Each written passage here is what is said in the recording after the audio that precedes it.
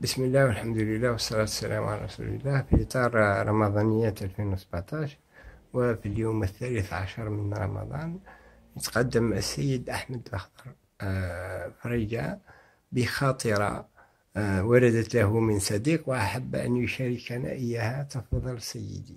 شكرا سي رشيد بارك الله فيك. هذه خاطرة وصلتني من صديق إلى السيد فريجة أحمد الأخضر. عجبا لأمر الناس. الدنيا متقلبة لا يستقر أمرها على حال وأمر الناس أكثر تقلبا. وعجب ما رأيت في ذلك أن العديد من الإخوة والزملاء عرفناهم في الفترة الجامعية كرماء نبلاء سخاة يوم كانوا قليلي ذات اليد.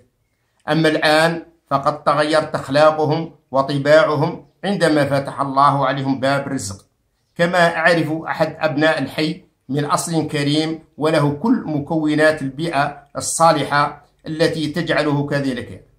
إلا أنه يوم ولاه الله أمرا من أمور الناس شق عليهم وصار ينكر معرفته بأقرانه. من هذا من هذين المثالين تتضح الحكمة الربانية المودعة في الدعاء المأثور اللهم اجعل الدنيا في أيدينا لا في قلوبنا. الله عز وجل يعطينا المال والسلطان وغيرها من النعم. منا من يتعامل معها على أساس الوديعة التي يتوجب المحافظة عليها ورعايتها ليقينه بأنه لا محالة سيأتي يوم ويردها لأهلها.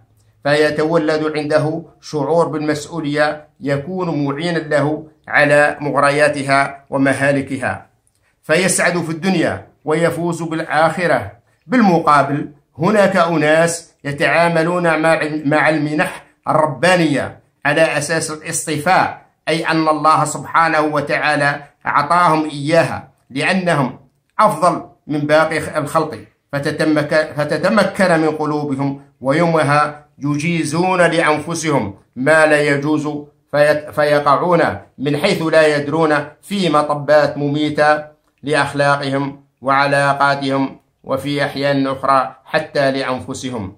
سورة الحج الآية 46 قال تعالى أفلم يسيروا في الأرض فتكون لهم قلوب يعقلون بها أو آذان يسمعون بها فإنها لا تعمل الأبصار ولكن تعمل القلوب التي في الصدور. صدق الله مولانا العظيم.